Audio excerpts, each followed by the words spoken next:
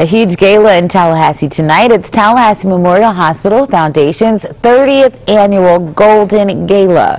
WTXL's Greg Angel live for us tonight at the Black Tie Affair. And Greg, it looks like people are starting to trickle in. It's going to be an exciting night.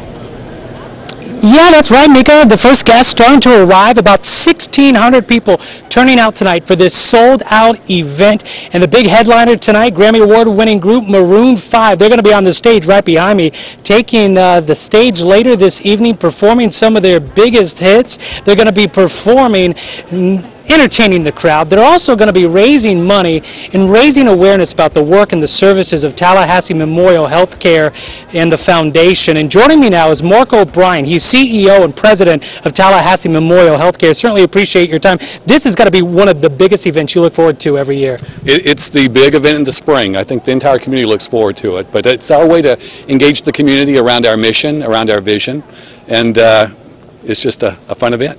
And this event really raising awareness 30 years now certainly shows the support of the community to support the foundation. Tell me about some of the services and some of the programs about how TMH really helps give back and help those in need.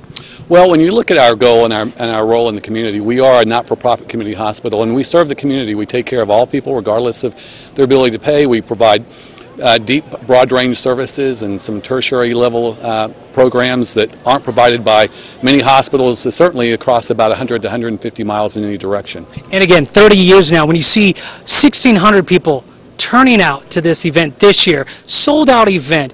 Is it kind of give you hope that you guys have the support and you guys are doing the right thing? Well, the fortunate thing, at least in my experience here, I've been here 10 years, it's been sold out every year, but when you have a, a band like Maroon 5, it, it draws a crowd on its own.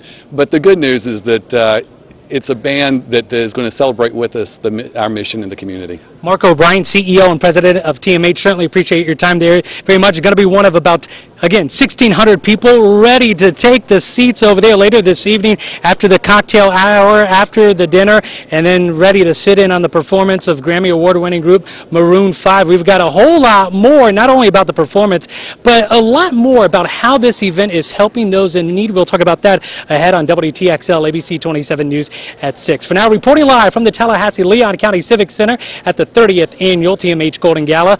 Greg Angel, WTXL, ABC 27, dedicated to you.